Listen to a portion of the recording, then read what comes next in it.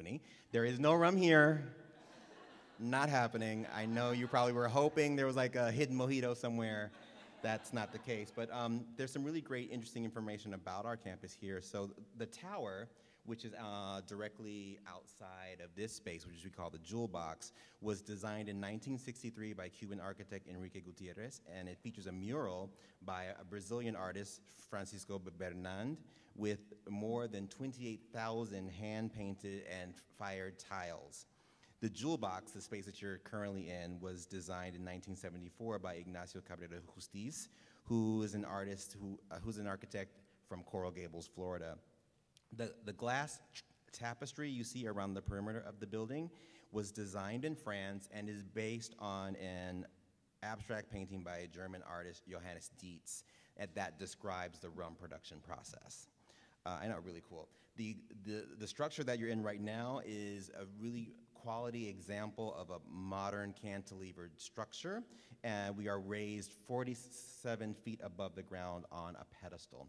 And there's actually the plaza outside, which is between the jewel box and the tower. It does feature the Bacardi bat. So as you're walking across the, the plaza, make sure you take a look at the tiles on your feet or beneath your feet to see the wonderful illustration of that emblematic and iconic I just feel really comfortable in this space and wanted to share also that um, the National Young Arts Foundation is an actual competition for those of you who don't know and are not aware. Um, and I am also an alumni uh, in theater, uh, class of 2000. So um, I feel really, really comfortable in this space, and we're really excited for this partnership. Um, our current alumni exhibition on campus, which is on view in the gallery, was curated by acclaimed director, photographer, and who happens to be our very own Vice President of Artistic Programs, Lisa Leone. Um, and the exhibition is titled Can We Be As Brave? The exhibition features the works of 13 Young Arts alumni, and we'd like you to view the exhibition really at your opportunity, perhaps in, uh, in a space where you're taking lunch, um, and have an opportunity to see that. Okay.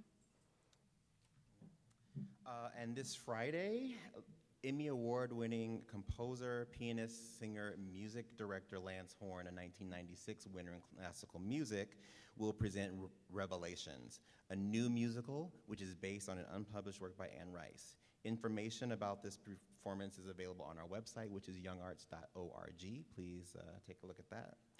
Um, today is really a momentous day because we celebrate the launch of the application of our 2020 Young Arts National Competition. Our, yeah, this is a big, yeah, give that a round of applause. It's a really big, it's a really big deal because it's a great opportunity for the next generation of artists. I'm gonna tell you about that. So our performing arts disciplines in the, con- in the competition include theater, and we are now accepting applications through October 11 from emerging artists ages 15 to 18 or in grades 10 through 12. Our, among our notable Young Arts Theater alumni are Timothée Chalamet from Call Me By Your Name, Viola Davis. I could list everything, but then we'd be here till 3 p.m. Josh Groban, Tarell Alvin McCraney from of Moonlight. Yes, yes, yes, yes. Billy Porter. Okay, and Kerry Washington. So we have provided information and materials for you to share with your colleagues or the young people that you know who would really benefit from the opportunity to compete in a very creative way. And please review those at your leisure. So lastly, we welcome you to be inspired by your time here in Miami. Also, keep a handkerchief around because you might, sweat beads might be forming as you walk from one space to the other. Just get ready for it, it's great. This year's uh, TCG conference challenges you to consider the value and necessity of adaptability. It asks you to think about Miami's plurality of global cultures and the history of reinvention. And it focuses on programmatic ideas such as audience and community engagement. Your work, you work to contribute to an inclusive and thriving theater and arts community. We are excited to partner and to partner and work together for this arts community in support of the next generation of artists, to foster their creative and professional development, and to support them on their path to becoming the artist that they want to be. Once again, welcome to Miami and enjoy your time here on Young Arts Campus. Right. And then just one last bit too. Miriam and I will be at the block party tonight. Yeah. Bring a handkerchief. That might be sweating happening there too. Uh, so that's a great opportunity for us to convene. If you have any questions about our national competition, please feel free to like maybe make some notes. We'll be at the, the party tonight and we can chat more about our work with education and the competition. All right, have a good conference. Thank you so much.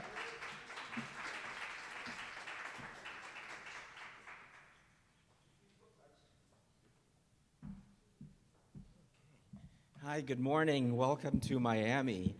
Um, thank you, Marion and Evan, for your hospitality. This place is gorgeous. Uh, my name is Adrian Budhu. I'm TCG's Deputy Director and Chief Operating Officer. To those of you here in the room at the National Arts Young Arts Foundation in Miami, and to those of you watching this session via the live stream presented in partnership with HowlRound, welcome to TCG's Education Conference. That said, if you're speaking today, please remember to speak directly into the microphone or it will not get recorded. And we do need to share this incredible day with the folks outside of this space. I'd like to take a special moment to thank Laurie Baskin, TCG's Director of Policy, Research, and Collective Action, for her leadership. Woo! And to the entire National Planning Committee, many members are here today. Please stand or signal as you're able to so we may recognize and thank you.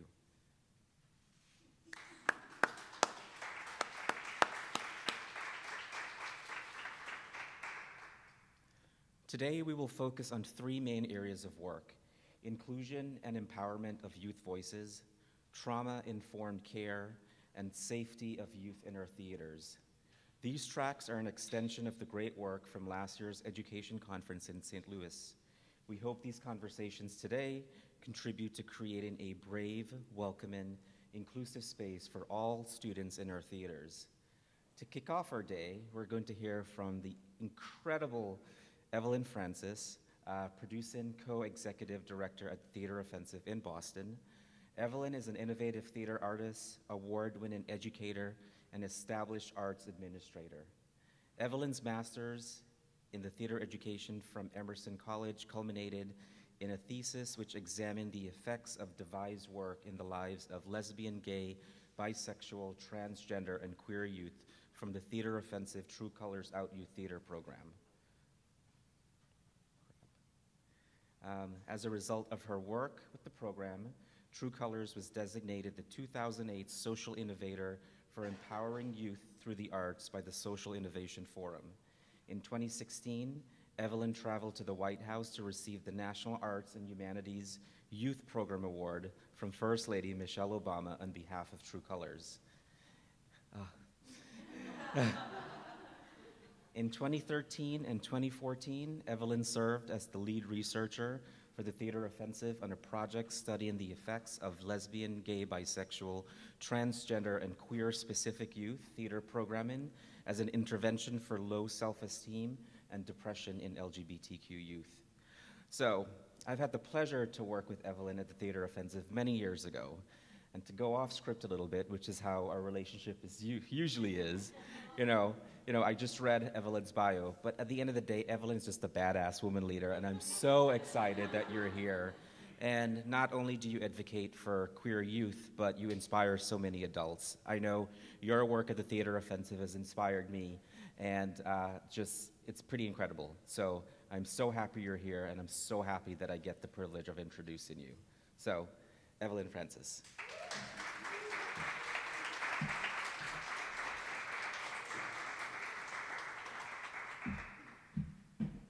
Thank you, Adrian. Uh, now I got to live up to that intro. We'll see how I do. So, uh, I'm here today to talk about the theater health study.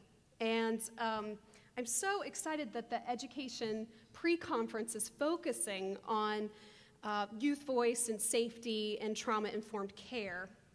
Um, and I will say, just to I tend to go off script as well, as Adrian just did. I go off script, so I have written everything down so I stick within time, according to what Laurie has said, me, said to me. So um, I'm going to talk about the collaboration that Adrian mentioned. Uh, it's a collaboration between the Theater Offensive and the Children's, uh, Boston Children's Hospital. And my collaborator on the project, um, Jerel Calzo, um, unfortunately, he couldn't be here today. Um, but he's an associate professor at uh, San Diego State University now, but our collaboration started when he was at Boston Children's Hospital. And he was kind enough to participate by contributing some video. So hold on to your hats. We got researchers talking on video a little bit later. So I know, it's an exciting morning, everybody. So um, uh, let's, let's go to the first thing. So Jerel is so good because he says whenever you do a presentation, Evelyn, you really want to have the takeaways at the beginning and the end. That way, if anybody walks out in the middle, they at least know what they're walking out on. Um, so the first, these are the takeaways from my presentation this morning. So first off, um, developing an evaluation and assessment plan is iterative. Uh, let program improvement guide you, not the funders. Let the program improvement guide you, not the funders. Community based participatory research, or CBPR, helps programs maintain their values while engaging in research studies. And uh, be specific. When engaging in research, be specific about the question you want to answer. Design justice. I can't emphasize this enough. Youth should be part of the framing of research or any program that you are doing. Um, theater can improve self esteem and, and keep depression from deepening. And then finally, research data is part of a bigger picture. So let research inform your program, but not dictate it. So, a little bit about the Theater Offensive for folks who don't know us. So, our, this is our mission. We have a new mission coming out in July, along with my uh, new title, uh, producing co-executive director. I am right now the interim artistic director, but there's lots of changing changes afoot at the Theater Offensive. So our mission, as of today, uh, is to present the diverse realities of LGBTQ lives through art so bold it breaks through personal isolation, challenges the status quo, and helps bring, sorry, build thriving communities. So we were founded in Boston. I keep flashing. I don't know why. She just wants to make a show of it. Okay. Uh, so, founded in Boston in um, uh, 1989 as a guerrilla street theater troupe by our founder, Abe Rybeck, during the early AIDS crisis.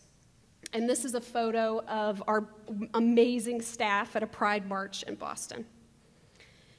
So, this is a complex thing here. We have a complex grouping of programs in our organization. And so I've included this chart to help you understand a little bit the structure of our organization before we start. So our overall programming approach is called Out in Your Neighborhood. So that's the whole chart, Out in Your Neighborhood. And our programming includes the Outhood series. Oh, she's flashing again. Hold on. Come on, girl. There you go. Um, the residency program and the residency program, which are not age specific programs. And then True Colors Out Youth Theater, which works with youth ages 14 to 29 nine through four program components, including two touring ensembles for beginner and advanced participants, and a peer elected advisory committee, and also a series of free workshops and trainings that are held throughout the year. So I'll be referring to materials uh, mostly uh, about the troupe here on the bottom left. Girl! Maybe is our tech help somewhere that we can maybe get that straightened out? I don't know what's going on. the tech has left the building, so we're just going to have to deal with it.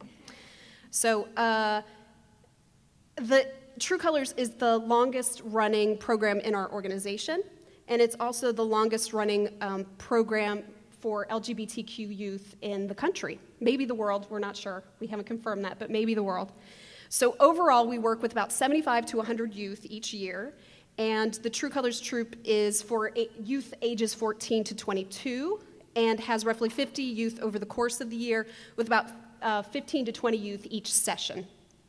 And it's important to note that this is the structure of our now $1.5 million organization, but I began working at the Theater Offensive in 2001 when we were just $200,000. So some of you scaling up or down, I feel your pain uh, whether it be growing pains or shrinking pains, whatever that might be. So um, I always, uh, when starting to have a conversation about true colors, start with the youth and our community being able to speak for themselves. I feel like that's a really critical part of my work is to make sure that youth voices are heard in every uh, place that I'm speaking. And so um, I'm going to have to get out of this here, low tech, low tech, and we're going to go over to here. And um, we're going to have the youth speak for themselves. No. Somehow I knew this was going to happen. Yep. We got nothing. I knew this was going to happen, Laurie. I knew it. I just knew it. Mm-mm. No sound. As my wife says, plug it to unplug it and plug it back in. See if that works. No. Oh, we have it. My wife is always true right. colors, Remember that. when you meet a person and stuff like that, that you feel like you knew them for like a year. Lifetime. Yeah, like a lifetime.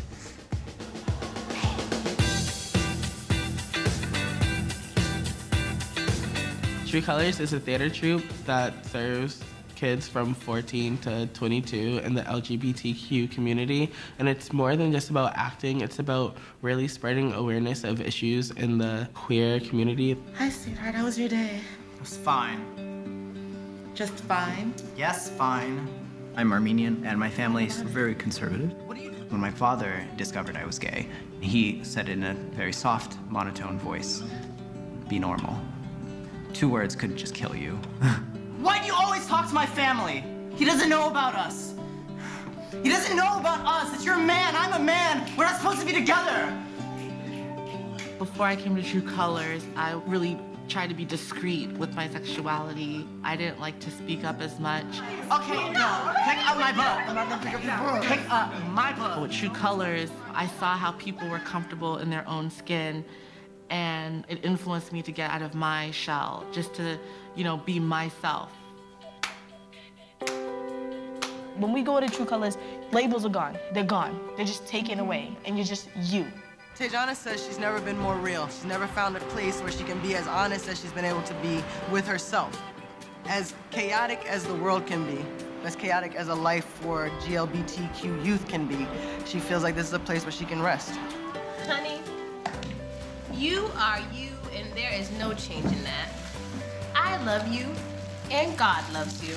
I just think they're groundbreaking. This is a space where youth can put their words out into the world. I don't care what anyone has to say. I am a gay black male who loves God, and God loves this gay black male.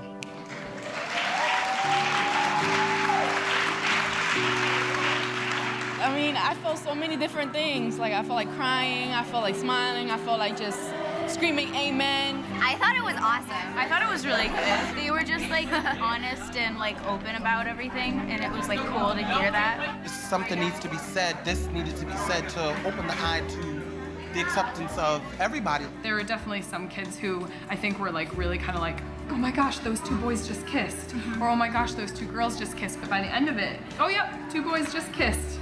No big deal, you know. Like I feel like it would be great for all kids to see that. Brent, look. See?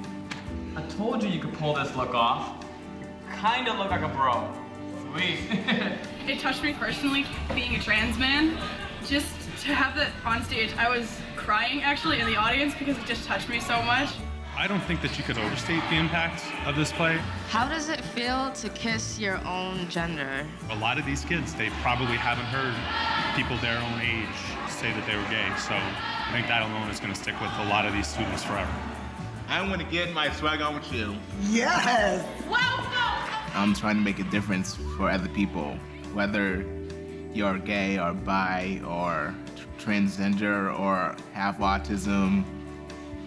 You, still are a human being, and you have the rights to love yourself and do what you want to do, what your heart desires.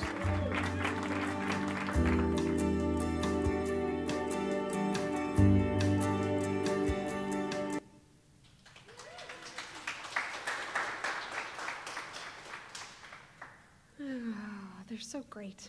Okay, so uh, where are we? Here we are. Okay, so the start of the theater health study uh, really begins with my personal love of assessment and evaluation. And it's not just for the purposes of gathering quantitative and qualitative data or to respond to the increase of reporting requirements by funders, and oh boy, are they increasing. I love it because it provides an opportunity for youth and teaching artists and community to formally review your programming. It provides concrete measures to improve programming, and it helps build better relationships. So, this is from Evaluation in the Sacred Bundle. Measure what you value, and others will value what you measure.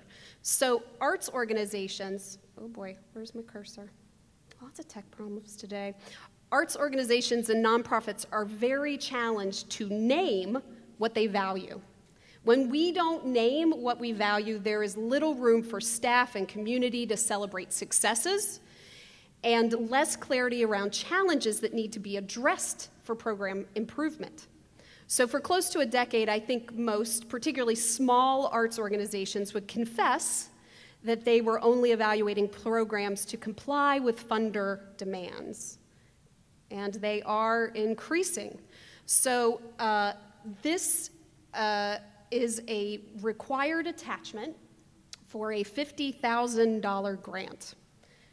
I almost passed out when I saw it. So, the level of data collection required for this form is hundreds of hours of work. It excludes the trans community completely and is simply impossible in some cases. How can smaller organizations possibly compete for these funds without making things up or just flat out lying? This is another workshop that, or speech I would give, which is measuring up a, funder, a funder's intervention. so, for an arts organization, collecting the data is just many, many hours away from the very work that impacts the lives of young people we work with. However, a lot of organizations start here when it comes to assessment. They have a document to fill out for a funder, and they start collecting information to report out. So, luckily, I had an amazing mentor at the Massachusetts Cultural Council, H. Mark Smith, who nearly 20 years ago helped me understand the value of evaluation and assessment in order to create better programs for your community. And this is actually where we started. So this is a logic model. This is the logic behind your program. And in 2003, this was the logic mod model that I started with. So, how things are, your program as an intervention, the change that will come out of your program, and a new world order. So, a logic model is a way of telling your story. This, sadly, is now my logic model favorite. So after several years, this became my favorite form of logic model, and this is our recent draft, updated drafts, but you get the idea. So it has clearly defined program, there's programming linked to positive outcomes, it provides language to development staff, and it's a one pager for new program staff and contractors as well as funders. Now, I wish I could say through all of this love of evaluation and assessment that I didn't have an ulterior motive for my love of it, but I did. So for several years, around the early 2000s, we had been fighting for every single dime that we received at the theater offensive. And we were reject, being rejected by the exact same funders who were fully funding our colleagues. The difference? We were working with queer and trans youth. So I really got into evaluation and assessment because I could, I, uh, oh, no, go back. Go back.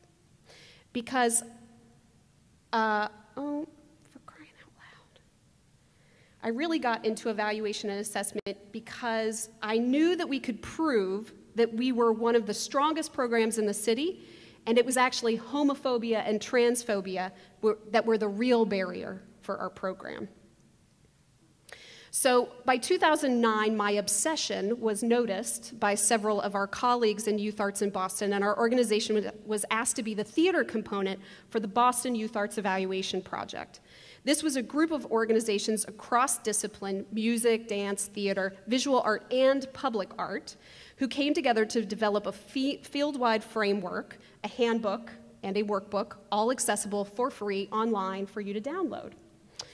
Um, a lot of these sibling organizations felt that they needed a bump in their funding and support for the next generation of youth and felt like contributing to this particular process would help shed light on these five programs and would lead to more funding. So here's some of the data that came out of the Youth Arts, Boston Youth Arts Evaluation Project, which we call BIAP for short. Uh, and uh, so this is the We Connect, so connecting co- to community. So 100% of youth agreed or strongly agreed that they've gained trusting relationships with staff here. 96% said, I believe that what I create positively impacts others. And then the quote At True Colors, I have learned what it's like to be a leader.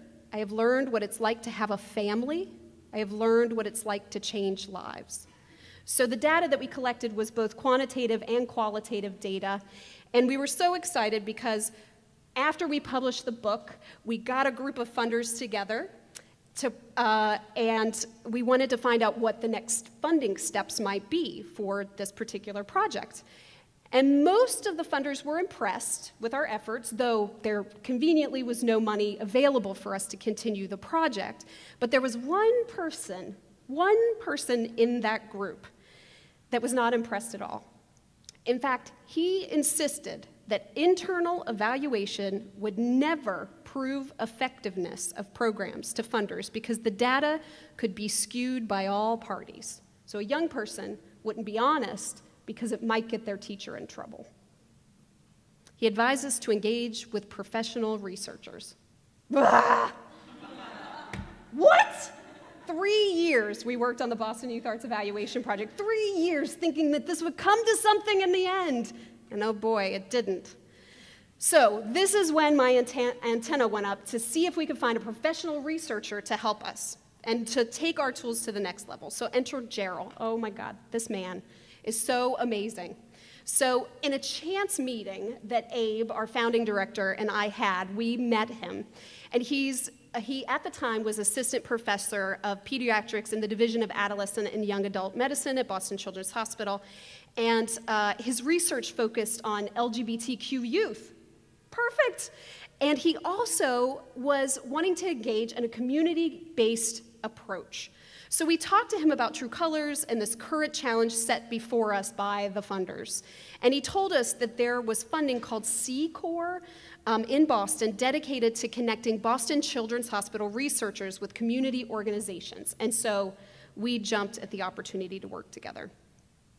So, what we know is that there's growing literature that uh, youth who self identify as LGBTQ are at a disproportionate risk for a range of adverse physical, health, and mental health outcomes. This risk is not due uh, to these identities in and of themselves, but to exposure to social contexts that directly or indirectly stigmatize these identities, victimize youth who have these identities, or that perpetuate inequalities, power, resources, access to care, that underlies these health disparities. So, in True Colors, we knew this firsthand from the youth. But Jerel said that there was very little known about evidence based programs or treatment that can protect LGBTQ youth and enable resistance or promote health. So, we felt like we were onto something. So, we took the idea of researching True Colors effect to the Leadership and Inclusion Council, our youth council. And many, many ideas for what the research could be about came up from the young people. But the conversation seemed to hone in on the effect True Colors had on depression and self esteem in the members of the group. And in the end, the LIC voted to proceed with the research with stipulations. The first is that youth needed to be added to the research team, and that any youth in True Colors that did not want to participate, of course, should not be forced to do so. So, as we put together our application for the Institutional Review Board, or the IRB, I began to learn why research in our programs is so challenging. There are some competing needs. So, we know that the needs of the population are on one side, the program priorities, what you set as priorities, on the other, satisfying what the stakeholders, so the people who've paid you to do this project, and then the goals of the researchers. They're all at odds with one another. So, also, we can't ignore the fact that medical and academic mistrust that exists in the community are very well documented, being referred to as subjects, history of flagrant abuses, the pl- placebo versus treatment and the ethicalness of that, and then no direct benefits for a community. So, this, there's this one approach called community based participatory research. And what are the principles here? So, communities are sometimes aware of the issues that are pressing, sometimes they don't know the magnitude, and sometimes they're not sure how to proceed. So, CBPR engages community in the process of discovery, empowerment, and positive change. So, the approaches are it builds on strengths and resources in the community. It's a collaborative partnership at all stages of research. Search. It integrates knowledge and action, promotes co learning and empowerment. It's uh, cyclical and iterative. It addresses health from positive perspectives. It disseminates findings and knowledge gained to all of the partners. So, our research question then was Does True Colors contribute positively to mental health and self esteem? That's what we came down to, this basic question. So, our research goals were to do a longitudinal study through surveys and collection of qualitative data through interviews to develop a model of how true colors influence depression and self esteem processes, and then identifying the next steps. So now we get Jerel. He's going to have a talk with us. So let's hear from him about the methods used in the theater health study. My cursor keeps disappearing. Here you are, girl. Yes. Okay. All right, so how did we study um, the theater health study? How did we actually evaluate it? Um, well, first, in talking to Evelyn, Abe, and Nick, um, doing some observations of the True Colors program, and also in reading the Boston Youth Arts Evaluation Program report, um, it was clear that there was a model of development and resilience. Um, but the real question was, um, you know, is the program having its intended effect? Is it working? And not only that, but um, how do we know that it's working and what's contributing to its success? Um, and it's tricky um, in a program of its size, um, given that small. Um, although it's steady, um, they consistently had the same number of youth coming in um, each season. in research, you typically need large numbers of individuals in a program in order to test an effect. However, what we could do in a small group um, is use mixed methods. So um, provide surveys to the young people um, and also interview them to understand um, their sense of the process. Um, and that's what we did. Um, because we were interested in seeing how program involvement and involvement in True Colors impacts mental health and self esteem, we used high quality measures in the field for depression and self esteem to see um, where the youth were at in terms of their depression and self esteem. Um, but we were also interested in the story, how this program is fitting in in the youth's lives, um, the experiences they're having, and the meaning of those experiences. Um, and we leaned a lot more heavily on the qualitative data. So these one on one interviews that we did with the youth um, to sort of extract the overall picture.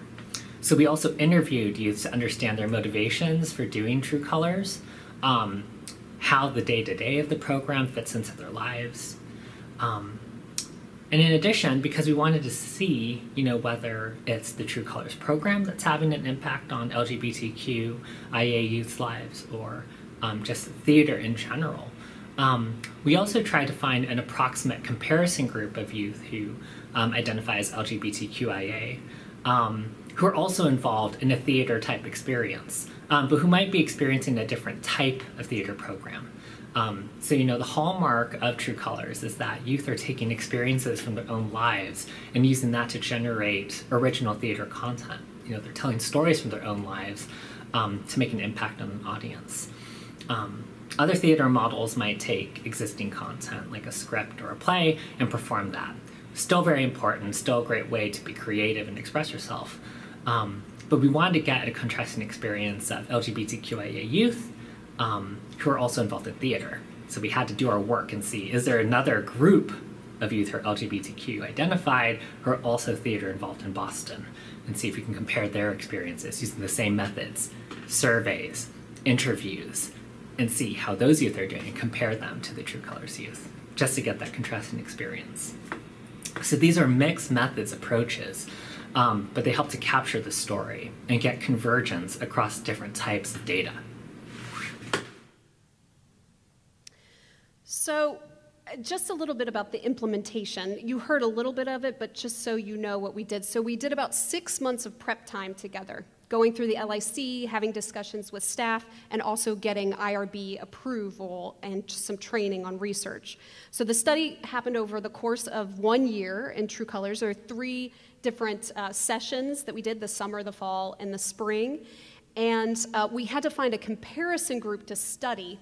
Um, and the comparison group was conducted um, by youth. The, that research was, the, there were youth facilitators who were chosen uh, as researchers for that comparison group. And that comparison group, uh, Jerel mentioned, was a school group, but it was an out of school time program uh, that was a theater program.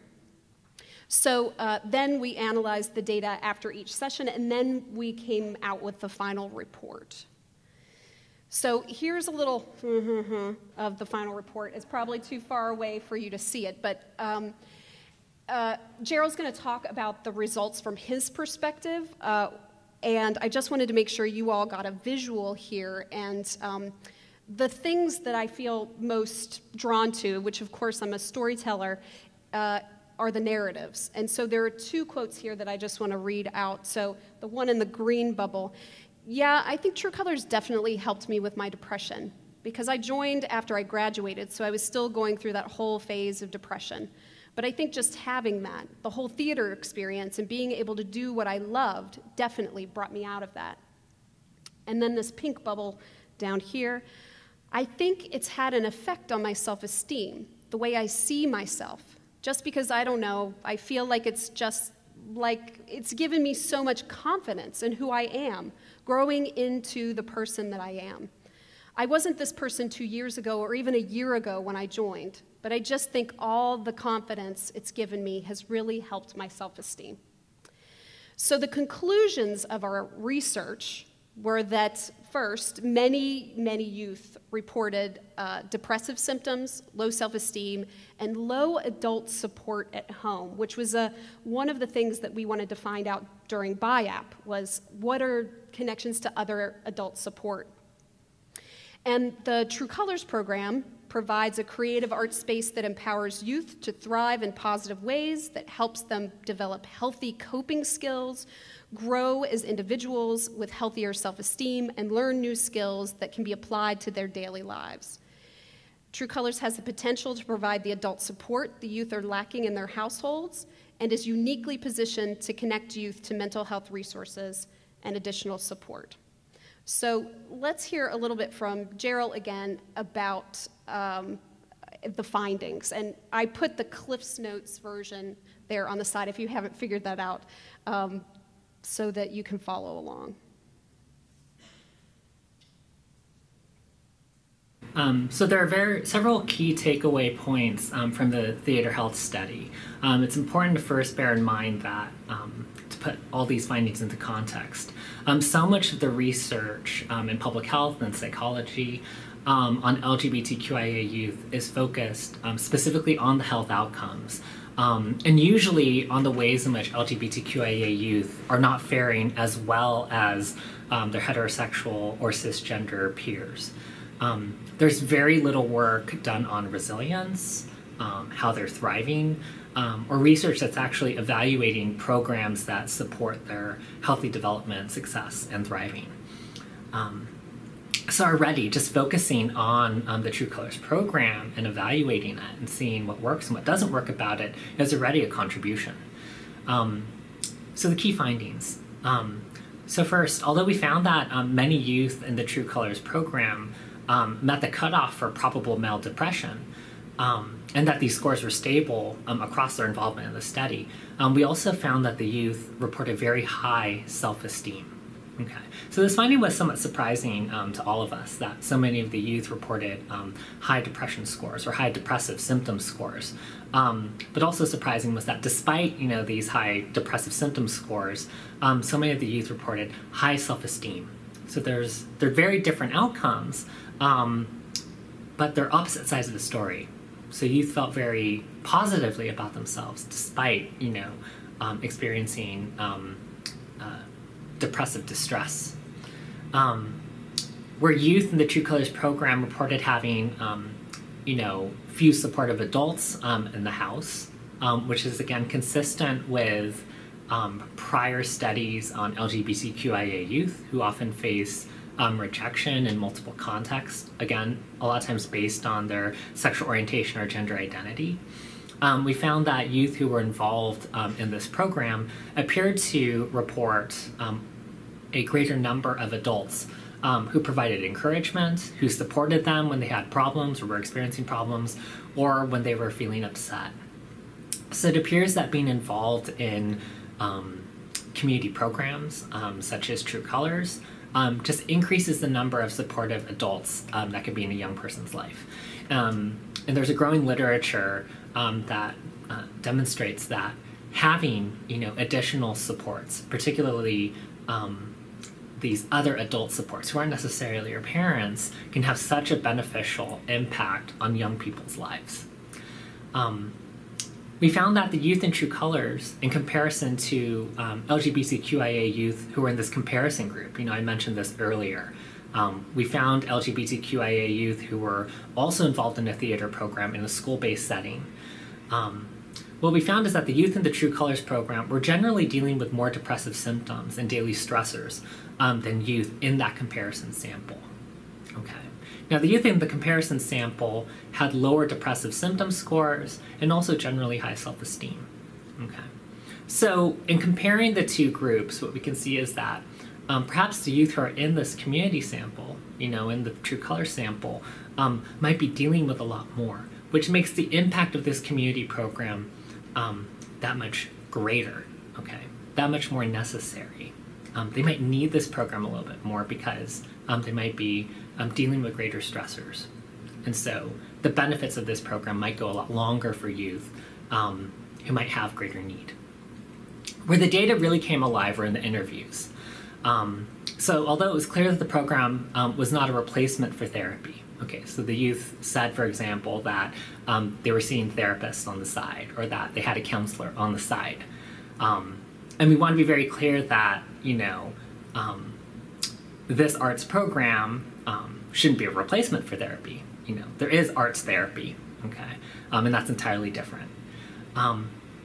the True Colors program and other arts programs that might be similar um, appear to provide a space for the young people to thrive. Um, as one person um, in the study mentioned, it was a space for them to come out from under the water. Such a beautiful metaphor. Okay.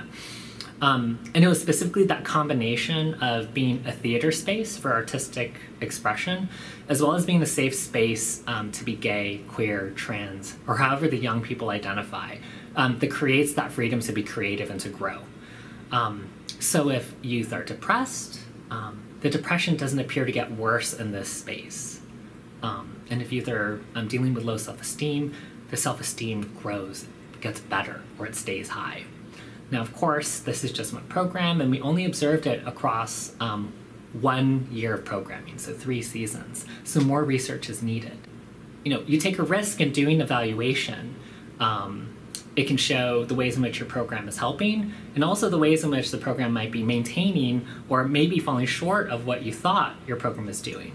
Um, in this case, um, what the evaluation showed is wow, this program really is providing a space for the youth to thrive, um, and in some cases, survive um, a lot of the stressors that they're dealing with. Um, and um, from a youth development perspective, you know, these are artists, artists who are dedicated in youth development, these adult mentors. and what they're finding is that look, this is as far as we can go um, as directors in this program. But what more can we do to make sure that the youth who are um, coming to our program are getting the help that they need? You know, we're not going to be mental health counselors, um, but what we could do is maybe partner with other organizations um, in our community to make sure that the youth who are coming here for an arts program are getting wraparound care. Okay. Um, and as a researcher, um, I love working with these programs because um, you know, all of us are invested in making sure that um, you know LGBTQIA adolescents um, are thriving, um, and you know, thriving is not just the absence of depression; it's um, you know, full maximal expression um, of their creative selves. So I wanted to read the full quote uh, that Jerel mentioned about being underwater from a young person. So this is Mark. Um, I felt depressed because I felt like I couldn't really be who I wanted to be. I knew who I wanted to be inside, but I was like, I can't be because she's going to say something or he's going to put his nose up at me. But something happened when I was in True Colors that just opened my understanding and just brought me out.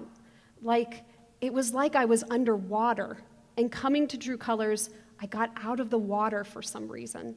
It's like, wow, okay, I can do this. I don't need to hide no more.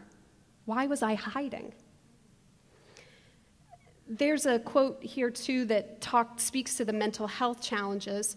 And this is another participant that indicated that he had clinical depression, but in this particular case, his suicidality uh, may not have reflected suicidal ideation measures, but rather his understanding of how he was being treated by his foster parents who re- rejected him for being gay. In his words, Jaden indicated, if I died, no one would care, because at the time, that's the action I was receiving. This quote really underscores the um, cons- uh, and consistently high level of rejection some of the youth in True Colors endured while growing up or still endure. However, it's important to note that some of the youth also reported being very supported by a family member. And then, in addition, and perhaps no surprise to all of you, one participant described theater as being a major release. Uh, Mika says that the ritual and practice of learning the lines provides comfort and release. She also indicates that rehearsal can allow her to process those feelings uh, that she wasn't initially aware of. So, theater may be structured and safe space to feel and express emotions. In this sense, it could be a powerful tool to allow youth to process negative experiences, develop insight, and find healing. And I love the, the last part of this uh, quote from Mika. And I think it helps because if I hadn't released in class, I probably would have brought it home and it just exploded. So, post research. So, given this research, we've considered some more extreme responses, like hiring a social worker on staff. But we think that this would change the fundamental purpose of True Colors, which youth have already said complements their current mental health care. So here's how we shored up and or improved our program. So first on, first on the list is the check-in process. So that is immovable. That is something that we will do with every single program is a check-in process. It's a moment for young people to say what's going on in their lives, for a group of adults to shut up and hear what's going on their in their lives, and try to uh, do something about it. So uh, we have after uh, rehearsal check ins with young people or break check ins with young people to see how they're doing and if they need additional supports. And so, if they do need additional supports, there are referrals that we offer. So, the great thing about Boston is that there are lots of organizations that specifically serve LGBTQ youth. We have a health clinic that's dedicated to LGBTQ youth called the Sidney Borum Health Center. And uh, there are other uh, si- sibling organizations like the Boston Alliance for LGBTQ Youth that they have a clinician on staff and they have a social worker on staff. So I will physically walk a young person over so that I can say, I am someone you trust. This is someone I trust. And that, that introduction happens live and in person instead of just handing a piece of paper and crossing their finger, my fingers that they'll actually go to seek the services. So um, all of our youth workers will do that act of walking someone to the services that they need. The last part of this is that we create a community resource guide for all of our staff. So what we realized is that adult support is, is essential, and it can't just be the youth workers because young people are interacting with all of the staff. And so we created a community resource guide. In a pinch, if a youth worker could not be accessed at a particular time, then uh, a staff person could go to this community resource guide that's on a shelf and electronic and find the resource that a young person would need. Of course, we as youth workers are always try to be accessible. It might be one in the morning, yes, youth work. Uh, but uh, to make sure that we're available to young people at all times.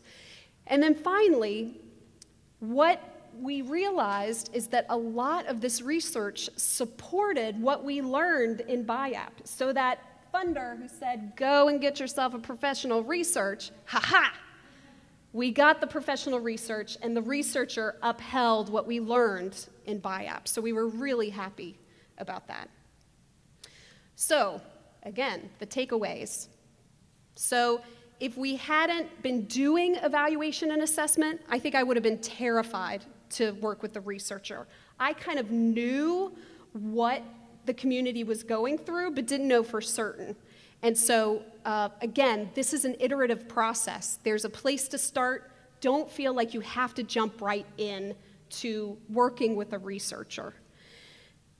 Um, program imp- improvement is the most important. Don't just be guided by what the funders are asking you to do. Program improvement is the most important in this process. Um, also, the community based participatory research. Uh, it helps maintain our values when we're working with researchers. That's so important. Um, be specific. So, go back, Mama. Go back. Uh, so, engaging with, uh, uh, so be specific. So, when engaging in this research, be sure that you're finding that specific question. Come on. Where are you? Center, well, I'll just go off the cuff. Here we go. Let's hope this isn't 20 minutes.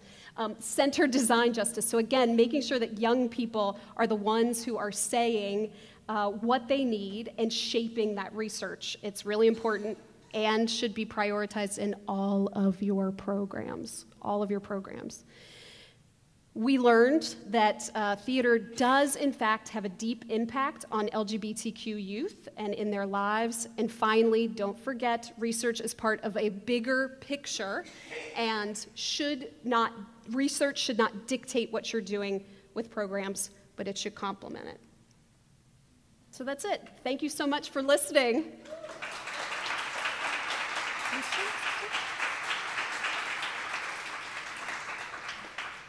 So um, we do have a few minutes for questions. If folks, questions, comments, queries.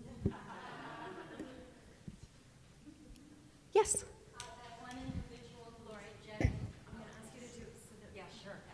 Uh, the one individual who was objecting to that initial research project, mm-hmm. did he change his mind? Mm-mm. Mm-mm. No. And that's why I emphasize don't do this for the funders, do it for your own program improvement. Because the funders, they, I mean, they have their job to do, which is to put other hoops out for us, right? Now that all of us have, you know, decided that evaluation is important and we're stretching ourselves to the limits, they've just put the goalpost a little bit further, right? Which is the way that it works.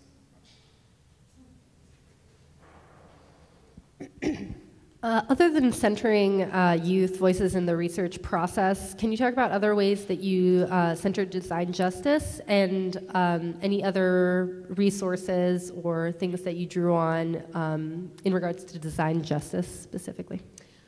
Yeah, well, I think uh, the for a very long time, about 10 years, Mark H. Smith, or H. Mark Smith, who I mentioned earlier, um, a lot of his work was about design justice. If young people are not um, designing alongside you, then you're working in a bubble, right? And that the young people vote with their feet, meaning your room is empty for rehearsal for a reason. Um, and uh, so that was instilled, that, like that put the fear of God into me really at the very beginning of my career. I really heard that. And so um, for us, you know, when we first started, I, my first uh, True Colors troupe that I directed in 2001, there were four young people in it. And uh, there was a way in which one young person was saying, I'd like to do more. And so I said, okay, what do you want to do? And she said, well, what if I were to stage manage? And so we spent time in the office, and I was teaching her how to do stage management. And then uh, another person said, Well, I want to run sound, right? So year after year after year, it was a matter of saying yes. When young people want to do something, they're telling you what they want to do, and it's your job to listen in these moments. And so, in terms of that's kind of baked into the DNA in Boston. We have a, an amazing training the, um, from the BEST initiative, and uh, it's a youth worker training. They might have an online resource. I'll have to check in with all uh, with that and let you all know. But um, it's a youth worker training, and it's to legitimize the field of youth work because 10, 15 years ago, people were like, "Oh, you just run an after-school program." That's nothing. Um, and it was saying we want to create the structure and backbone so that youth are at the center of all of our work. And um, so that's, that's a big resource that we've pulled from. And again, I think design justice is baked into really solidly good youth work. Other things? Questions? Yeah, Faye.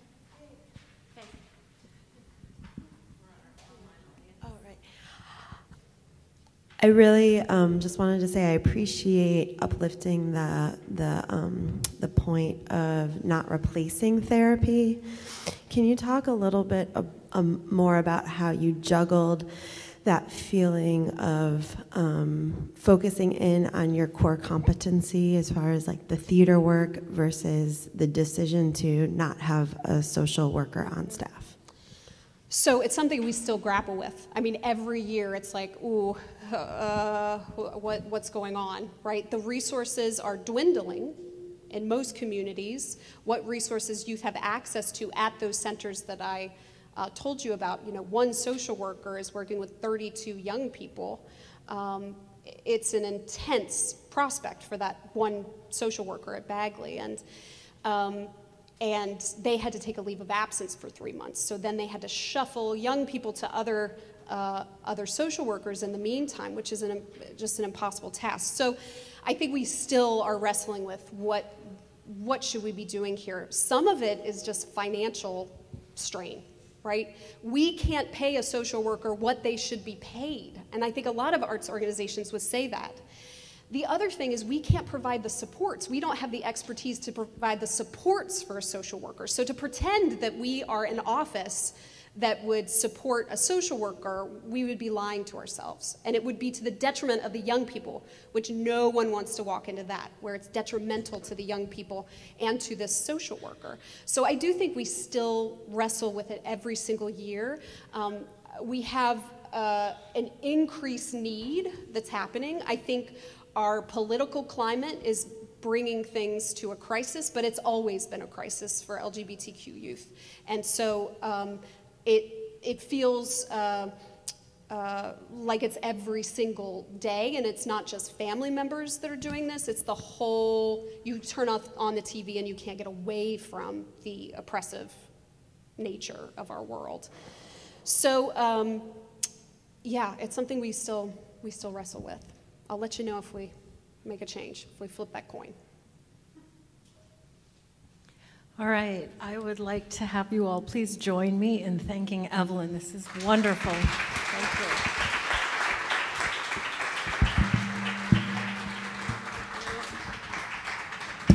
I just needed to bring my wife for technical assistance. Remind me to do that next time. Remind me to do that amazing research and a great setup for our day because you've touched on all the points that we're going to be going deeper into uh, any minute now. So um, I'm going to have us move right into our next plenary panel, but before that, I have a housekeeping announcement. For those of you who've been aching to find out the Wi-Fi